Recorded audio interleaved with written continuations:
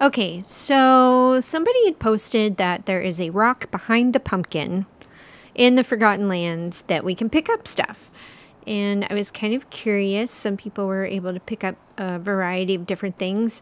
I guess I never thought that we could walk back there behind the pumpkin. Um, maybe we could at some point, but you guys let me know if we were able to before. But let's go check it out. This is Lisa. This is Unbounded Play. Thank you for coming to the video today. And don't forget to subscribe and like, hit that thumbs up button and subscribe. It really helps me to continue to do videos for Dreamlight Valley. So let's go ahead and head up to the Forgotten Land so we can check out what's going on behind the pumpkin.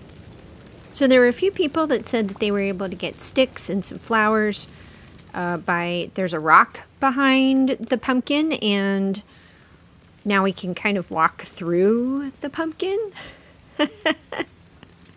and that the rock wasn't there before um, because, what is the reason here? Uh, the rock is only there now because of where the waterfall is in the Sunlit Plateau. So I guess the waterfall being there for the Sunlit Plateau makes the rock be, be there behind the pumpkin.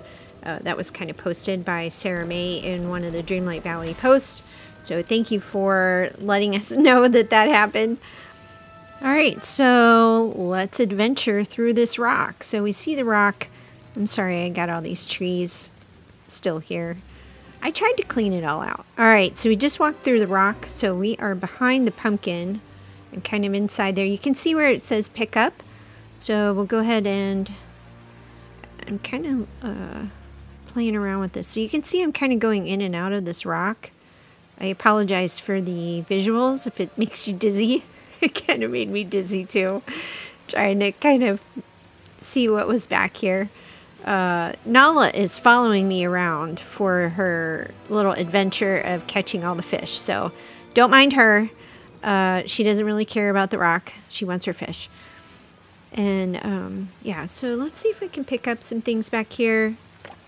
So there, I got some sticks, the white, like light colored sticks. Oh, another, and another set of sticks. And I think there's one more pickup. Yeah, did you see it? My little critter keeps wanting to get pet, so that kind of keeps popping up while I'm back here. Yeah, there's one more pickup. And, oh, I gotta fix that. I don't know. I like I pick up stuff and then I forget to drop it off. I have little trunks behind each one of Goofy's um, carts so that I can get rid of things within each one of the biomes. Oh. Okay, so I did pick up the another item. So there's an empty spot in my in my backpack. So we'll check it out and see what's in there. I don't think there's anything else to pick up. Um, but so far we've gotten two, two sets of sticks. And I picked up something else. Yeah, I'm just kind of scooting around through this rock just to make sure I picked up everything.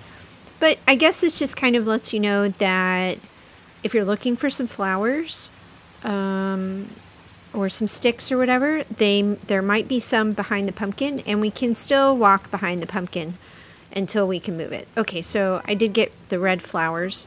They're there, the Nastri Nastorium? Nastor?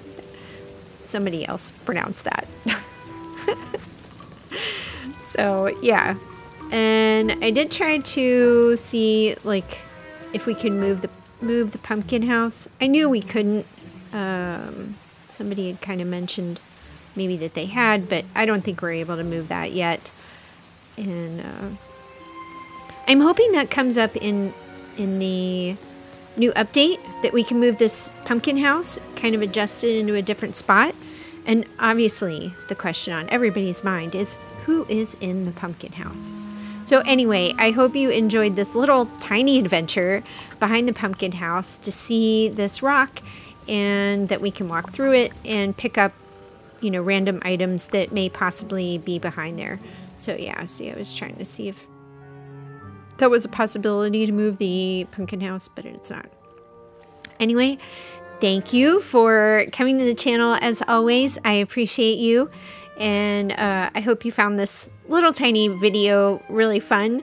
Um, you know, when someone posts something and you're like, oh my gosh, I got to get the Switch out, or your game, you know, whatever gaming uh, platform you're on, and racing to it, it just adds a little bit of excitement into the air um, for your day, for your evening, um, get you out of bed to go and check it out. So I hope this uh, kind of gave some excitement for you for the day, um, got you moving um, to go check it out.